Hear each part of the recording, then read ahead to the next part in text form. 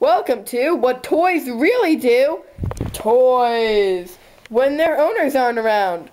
The guest speakers are Bobby Huffman and B. Ron Italian and French. He says bonjour. Now let's go over here and watch it walk across the floor. Hmm, what should I do? The baby is gone. The parents are gone. I am alone. Woo!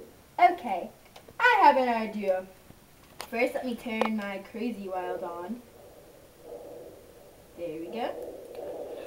What an idiot! That's kind of creeping me out.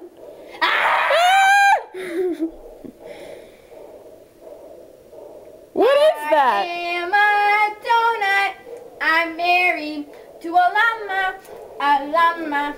I'm married to a very nice llama.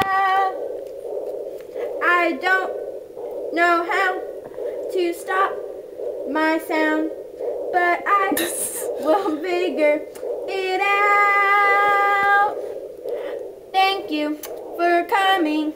I hope you I hope you enjoy and just remember ah! stop.